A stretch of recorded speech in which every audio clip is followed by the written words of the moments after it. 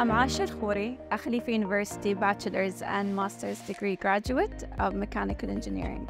During my master's degree studies, part of my duties was teaching labs for undergraduates. It was intimidating at first, but it was a great training experience that I really enjoyed. And this is when I discovered my passion for academia. I received the Teaching Assistant Excellence Award from the College of Engineering at Khalifa University in 2021. This exposure to research and teaching made me confidently apply in the PhD program to pursue a career career in science and academia, which I believe is the best decision I've ever made.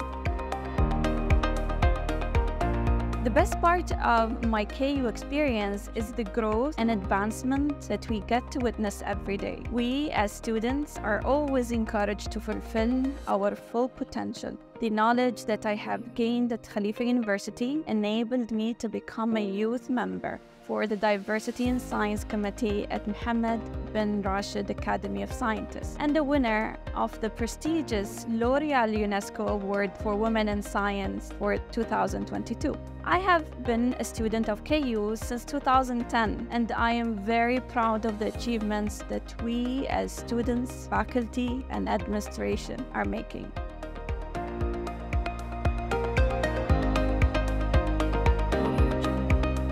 I'm honored to be studying and working with great scientists and educators from around the world.